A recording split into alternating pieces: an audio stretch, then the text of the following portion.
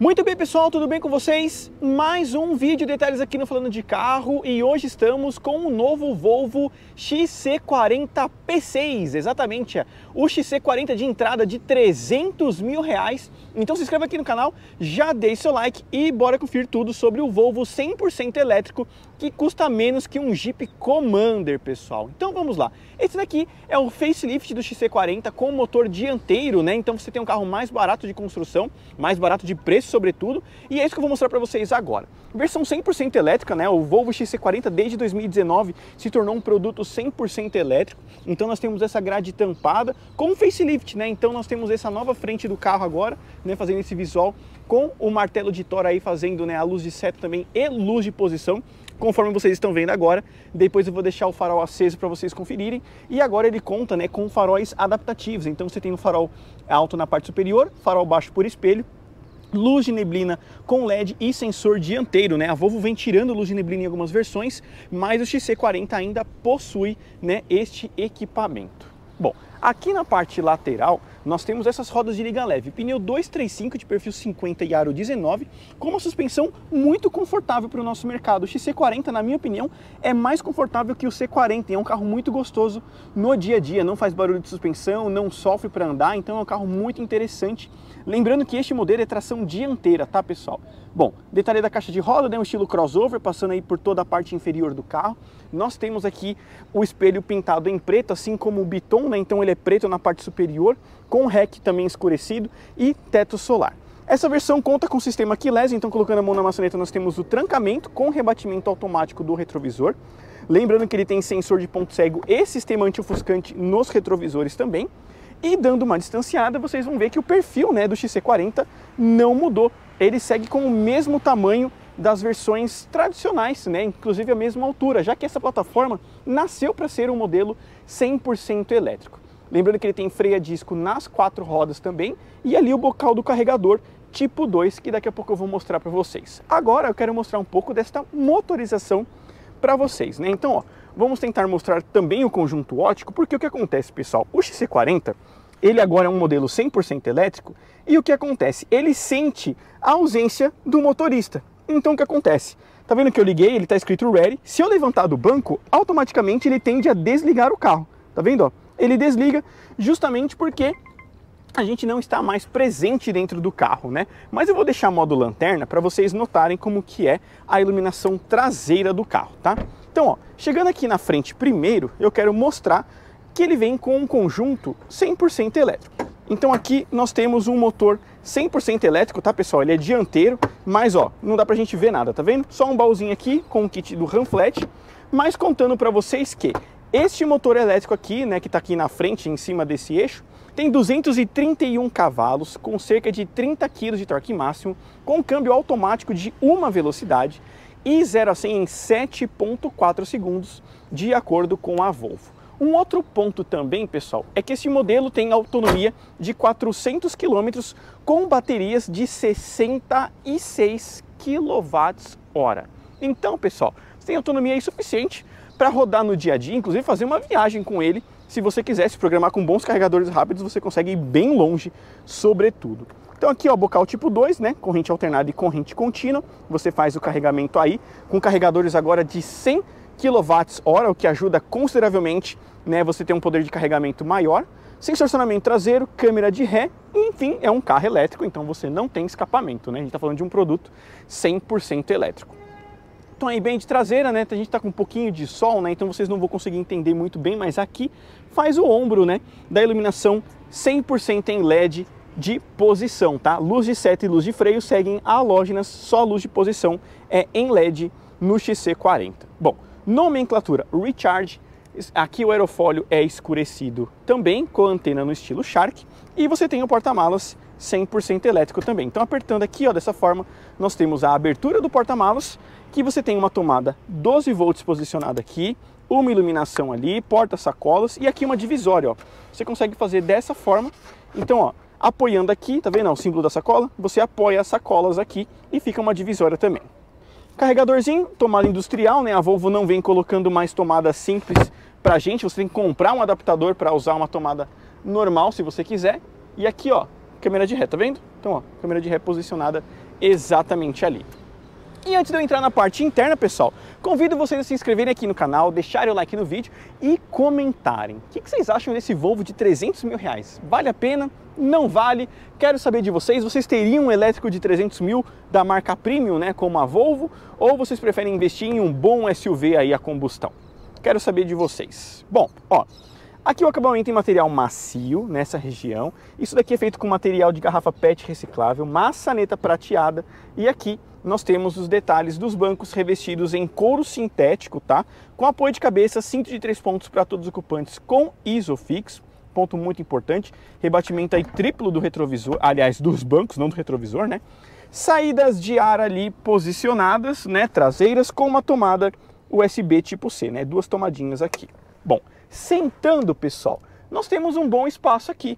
Então você senta baixo, né, o que é curioso num carro elétrico, então tem uma posição bem confortável para fazer longas viagens, de fato. Um carro agrada nesse sentido. Realmente, na minha opinião, um carro muito interessante para fazer longas viagens. Mas vocês devem estar se perguntando o porquê que a gente tem esse túnel aqui. Como é uma plataforma híbrida, né, tanto para carro elétrico quanto para carro a combustão, eles deixaram um túnel alto para passar o cardan das versões 4x4 que é vendida em outro mercado, tá, pessoal? Antigamente a gente tinha, né, um XC40 aqui 2.0 com tração integral, por exemplo, né, que não é mais vendido no mercado brasileiro, mas em outros mercados ele ainda continua, né, sendo vendido. Uma rápida passagem aí pelo console para vocês notarem um pouquinho.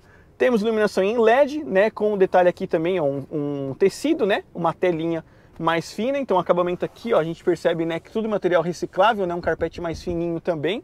Então a gente consegue notar bem isso. Bom, ele vem aí com airbags laterais, de cortina, nos bancos, dianteiros, né, de joelho, tudo que tem direito com relação à segurança, inclusive segurança ativa, né? Esse carro é semi-autônomo também. Aqui o acabamento segue da mesma forma, material macio, aqui também né, em material é, reciclável, deixa eu só deixar no farol alto automático ali. Bom, vidros elétricos automáticos nas quatro portas, memória para o banco do motorista dianteiro, o passageiro é elétrico, mas sem memória, e sistema de som Harman Kardon. Banco revestido em couro sintético, como falei para vocês, com ajuste elétrico, né? Então aí a bandeirinha da Suécia ali eu acho bastante bonito, né? Um visual muito legal, né? Um easter egg interessante que a Volvo coloca. E isso daqui que vocês estão vendo tem iluminação indireta, tá? Ele é, é por trás, é uma, uma, iluminação indireta bastante bonita. E isso daqui é a topografia de um parque na Suécia, muito famoso. Que desculpa, agora fugiu o nome deste parque, mas enfim, é a topografia desse parque. Sentando aqui, nós temos a posição de um SUV médio, então ela é relativamente alta, para você ter um campo de visão bem interessante e tudo mais. Então é um conceito interessante que a Volvo entrega com o XC40 de um SUV compacto, que se adequou muito bem ao nosso mercado brasileiro de certa forma, né? E um ponto interessante, o XC40 é vendido de forma 100% elétrica aqui e na Noruega. São os únicos mercados que ele é vendido de forma 100% elétrica. Nos outros mercados você tem versões híbridas ou a combustão também. Bom, Chegando na parte interna, o XC40 estreou uma conectividade diferente. Então nós temos a chave, não é mais revestida em couro, a Volvo tirou couro dos seus modelos, né? Deixa eu só tirar o telefone daqui. Notem, não tem partida por botão, né? Nem aqui. O que, que a gente acontece? Quando o carro entende que a gente está dentro dele, né? Pelo banco aqui e pela presença da chave, é só a gente engatar e automaticamente o carro liga, né? Estamos falando de um carro 100% elétrico que não tem partida por botão, literalmente. Você coloca no drive e sai andando, ó. escreve ready e o carro está pronto para ser conduzido. Assim como o carro, direção elétrica, ajuste de altura e profundidade do volante, com acabamento aqui revestido em couro sintético, detalhes prateados, e aqui comandos do Autopilot, né, que é o semi-autônomo desse modelo, o Pilot Assist no caso, e aqui a gente manuseia um pouco do painel de instrumentos, que é uma das minhas críticas, na minha opinião, né, eu sou muito mais do sistema antigo da Volvo do que este atual em parceria com o Google, por quê? Aqui você só tem um mapa, não tem mais nada, não tem tema, não tem nenhum outro tipo de atualização. A única coisa que você consegue fazer é acessar o computador de bordo dessa forma, fazendo aí uma média de 20 kW a cada 100 km, ou seja, a gente rodaria aí cerca de 350 km com uma carga e custando cerca de 70 reais. Então 70 reais para você rodar 350 km. Vale a pena ou não vale? Então aqui o GPS do Google, a partir do momento que você coloca uma rota aqui, ele também joga a rota para lá. E uma novidade, né? Com a atualização Over the Air, o que aconteceu? A Apple colocou um CarPlay no sistema do Google, né? A Volvo fez uma interação. Só que a partir do momento que você coloca um mapa aqui, né, do seu Maps ou do Waze usando o CarPlay, essa tela some e aqui fica um buraco preto. Então, a Volvo poderia atualizar alguma coisa que deixe mais amigável essa telinha aqui, né? Não tão sem sal, tão fria, sabe? Poderia ter um sistema mais family friendly, na minha opinião. Bom, ali ele tem assentimento automático dos faróis, vem com sensor de chuva, retrovisor crepuscular, iluminação em LED, né, que você só toque e ela acende dessa forma. Então aí, e aqui o teto solar para vocês conhecerem também, né, do XC40 puramente elétrico, nesta aqui que é a versão P6 de 300 mil reais. Então, abrindo aí, a gente tem a abertura do teto solar também, para vocês conhecerem tudo. Abertura aí até a meia coluna B, né? Tá vendo? Então aí você consegue esticar mais um pouquinho, né? Então um ponto interessante do XC40.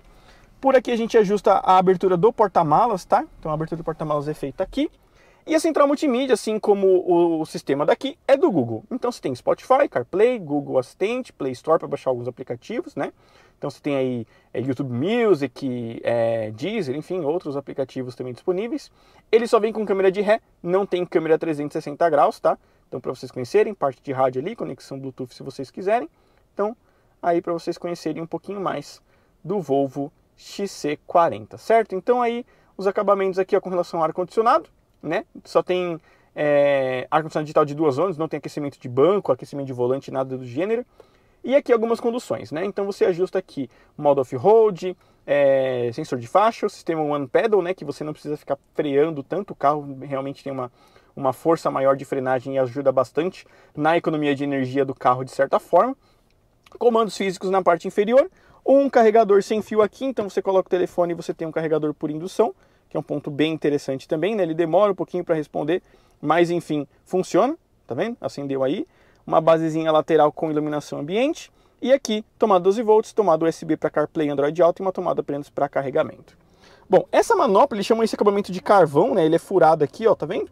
Então aqui, com detalhe de parque, dois porta-copos, um apoio de braço e aqui, ó, uma lixeirinha, né? Para você utilizar da maneira que achar melhor. Mais um detalhe aqui de acabamento da topografia, né, da de um parque na Suécia. E aqui um acabamento em material macio, que é de boa qualidade, sobretudo. Aqui também material macio. O porta-luvas tem amortecedor e isso daqui ó, é um porta-bolsas, né? Para a mulher colocar a bolsa aqui, né? Dirigir e deixar a bolsa pendurada para não ficar encostando no chão, né? Onde a gente, enfim, pisa, né? Com tênis, está sujo. Então você tem esse detalhe. Aqui porta-caneta e eu acho que eu mostrei tudo para vocês deste Volvo XC40 P6, pessoal. E agora nós vamos para o nosso teste instrumentado, onde eu vou tirar os números desse carro, mostrar a frenagem, já que é um carro muito seguro, Volvo tem que frear bem. Frenagem retomada e também o nosso 0 a 100. Será que vai fazer 7.4? Vocês vão descobrir agora. Então deixa o like no vídeo, se inscreva no canal, comentem o que vocês estão achando e bora conferir os números do Volvo XC40 P6 2023, pessoal. Muito bem, pessoal, vamos aos números aqui com o XC40 P6, a versão mais simples agora do XC40 que chega ao nosso mercado. E vamos tirar os números aqui para a gente saber se é um carro bom de freio e bom de números também de aceleração, né? Bom, tá chão molhado, tá? Não tá encharcado, mas tá um pouquinho molhado. Vamos ver aí se ele vai fazer uma boa frenagem da mesma forma. Então de 60 a 0 agora. Então vamos lá, 3, 2, 1 e parou bem. Olha o cinto como puxou aqui. 13 metros de frenagem. Foi muito bem, mesmo aqui num ambiente mais úmido de, de asfalto. Bem pra caramba. Engraçado como puxou aqui o cinto, né? Puxou de 60, com certeza vai puxar de 100. Vocês vão reparar muito bem isso. Então vamos fazer a frenagem de 100 a 0 aqui. Se fizer abaixo dos 40 com ambiente assim úmido, vai ser muito bom. Então vamos lá, pessoal, 100 a 0 aqui agora com o XC40 P6. Então vamos lá, 5, 4, 3, 2, 1 e... Pouco mais de 3 segundos de frenagem com 39 metros aí. Mesmo molhado, o carro parou abaixo dos 40. Se estivesse seco, com certeza nos 36, 37 metros ele faria essa frenagem. O carro é muito bom de segurança. Tô falando de um ambiente aí bem molhado já. Parou muito bem aqui o XC40. Bom, essa daqui é uma versão com 231 cavalos e motor apenas dianteiro. Vamos ver aí se ele vai ser bom de retomada de 60 até 120. Só reforçando com vocês que este modelo não tem modos de condução, tá? Os modelos elétricos da Volvo não tem função Sport, função Eco, nada. É simplesmente o motor puramente como ele foi construído. Então vamos lá. Ó, mantém 57, 3, 2, 1, dei pé. Enfim, aceleração é rápida, né? A gente tá falando de um modelo 100% elétrico, já chegou ao 100 em 3.6, 120 em 4.7 segundos. E esperava até mais, para ser sincero, o XC40, o P8, né? Ele faz ali por volta de 2 segundos e 3 segundos, é muito mais rápido do que esse carro, até porque é o dobro da potência, né? São 408 cavalos de potência. Mas tem uma coisa, ao contrário do modelo P8, este modelo limita a 160 km por hora. Então, assim como os outros modelos que é limitado nessa velocidade, a partir ali dos 110, 120, ele já tende a diminuir um pouco a entrega de potência para você não ter aquele susto, né, do carro chegar a 160 e simplesmente ele começar a não ter mais potência, né? Então, ele começa a reduzir. Justamente ali, por isso que a gente viu de, de 60 a 100, ele fez 3.6 e foi muito bem. Só de 80 a 120 esperava um pouquinho mais perto dos 4 e não perto dos 5 segundos. Bom, a Volvo fala que o 0 a 100 oficial desse carro é 7.4 segundos. Como está no ambiente molhado, com certeza ele deve dar uma escorregadinha para sair, mas se fizer 7.7 ali, eu já vou estar tá bem contente, então vamos ver aí como que ele vai se sair. Bom, pessoal, vamos para nossa saída. Desliguei o ar-condicionado por desencargo de consciência, tá? Mas ele não tem controle de tração, por exemplo, para desligar, certo? Então vamos lá, hein? 4, 3, 2, 1, saímos. Saída rápida até, ele não pensou, né, para engatar ali, né, daquela saída da inércia. Já está aos 70, 80, 90, 100 km por hora em 7.5 segundos.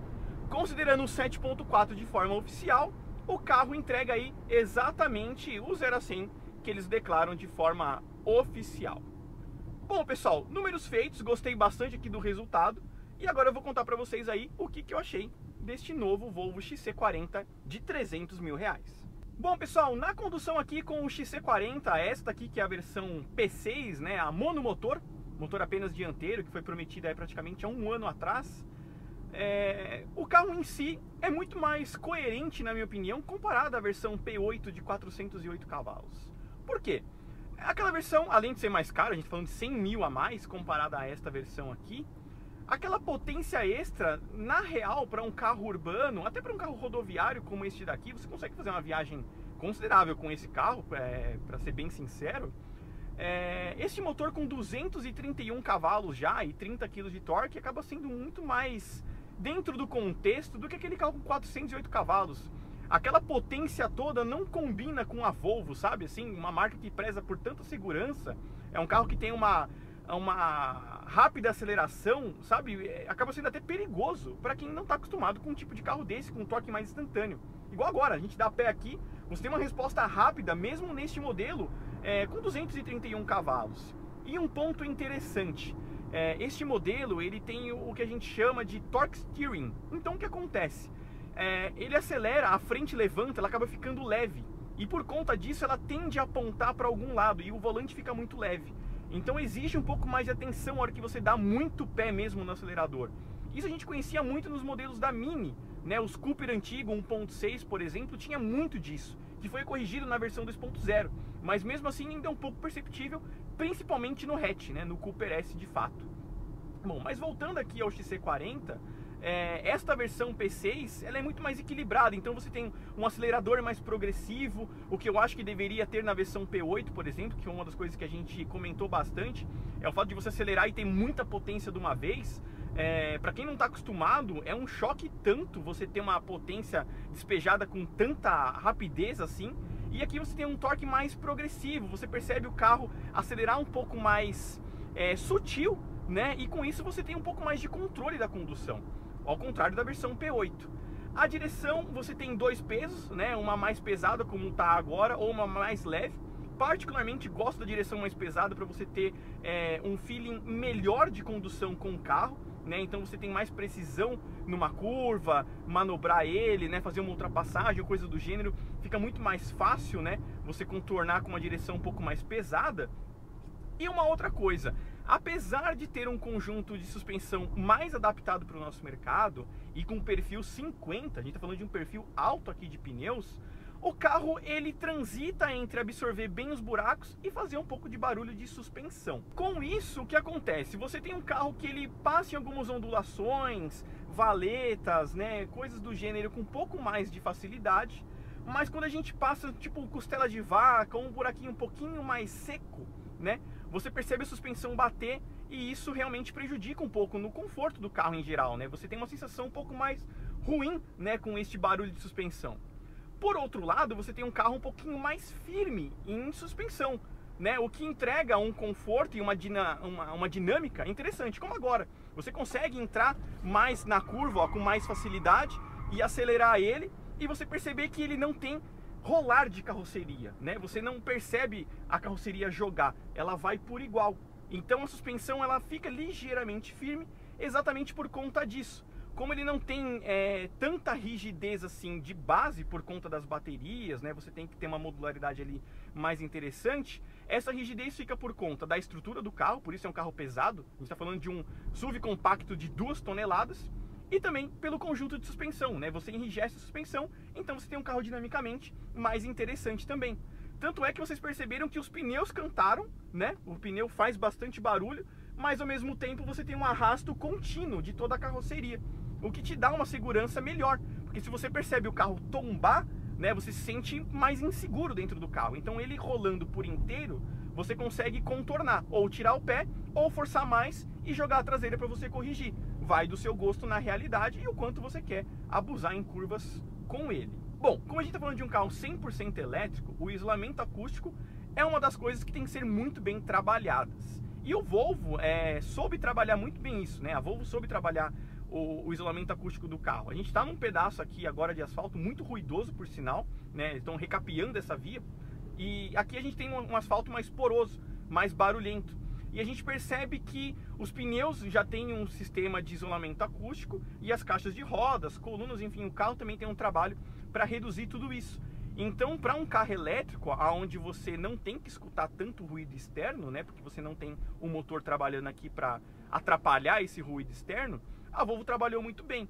A questão é que o trabalho de suspensão ainda se faz presente. Você escuta a suspensão do carro trabalhar, o que por um lado é um pouquinho ruim.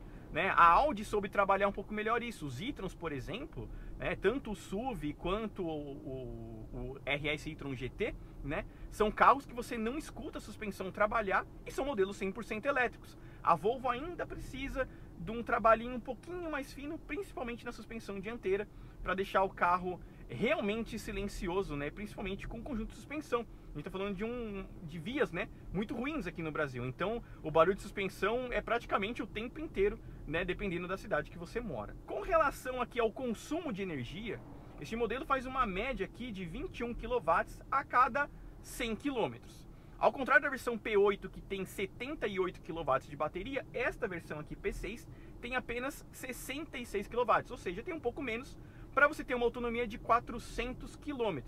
Então, nesta média aqui de 21 kW a cada 100 km, a gente teria praticamente 350 km de autonomia, isso no ambiente urbano, tá? A gente pegou pouca rodovia com esse carro, mas no ambiente urbano você rodaria aí 350 km com uma carga, com um poder de carregamento de 100 kWh. Então, basicamente aí em uma horinha você conseguiria carregar ele de 0 a 100%, e meia carga, praticamente aí em meia hora, 40 minutos você teria é, esse 100% também. Lembrando que toda carga rápida, os últimos 20% são mais lentos, justamente que é para você resfriar todo o sistema, né, que não prejudica as baterias, tá? Mas de modo geral, você tem aí é, 50 kW em uma hora, né, o que seria bem interessante também, né, para você poder fazer uma viagem aí e não perder muito tempo parado né, é um ponto interessante hoje desses carros elétricos que tem um poder de carregamento mais rápido também, né? 100 kW, né, num carregador de 100 kW, por exemplo, em meia hora aí você teria é, 50% da carga, até um pouquinho mais, o que é um ponto bem positivo, na minha opinião. Eu acho que o ponto forte deste aqui, XC40 P6, é justamente o seu preço. A gente está falando de um carro premium hoje de 300 mil reais. Logicamente, né, 300 mil reais não é barato hoje, mas devido às proporções do mercado, A gente está falando de um 320, por exemplo, né, na linha Premium, ou até de um Jeep Compass S, por exemplo, que já custa 250 mil reais, um Jeep Commander que custa 300 mil. Tudo bem, a gente está falando de propostas diferentes no caso do Commander, né, que é um carro de sete lugares, tem um porta-malas maior, mas enfim, né, a, a Volvo hoje já entrega uma faixa de preço de uma marca um pouco mais generalista, como a Jeep, por exemplo. E até mais barato que o próprio Chevrolet Bolt, que é um hatch compacto de 340 mil reais. Então, assim, é, este modelo aqui, né, 100% elétrico da Volvo, chama atenção pelo seu preço, bom acabamento e também autonomia. Lembrando, pessoal, reforçando mais uma vez, o XC40 é vendido puramente elétrico apenas aqui no Brasil e na Noruega. Os outros mercados ainda possuem versões a combustão, mas a Volvo decidiu vender o Volvo XC40 aqui no Brasil só de forma elétrica, porque a versão a combustão beirava muito o preço do XC60 e as pessoas migravam para um SUV um pouco maior, né? Afinal de contas, o XC60 é um carro mais segmentado comparado a este SUV de entrada aqui da marca sueca. Espero que vocês tenham gostado do vídeo aí, entendido como que é esta nova versão aqui do XC40, eu acho que vai chamar bastante atenção no mercado, vai depender muito do volume de vendas para a gente ver esse modelo na rua, mas de fato é um preço bastante atrativo para quem está querendo apostar em modelos elétricos e a marca Premium né, chamou bastante atenção. A Volvo realmente ganhou um mercado muito interessante nos últimos anos aqui no Brasil. Então se inscreva no canal, deixe o like no vídeo e até o próximo vídeo aqui do Falando de Carro.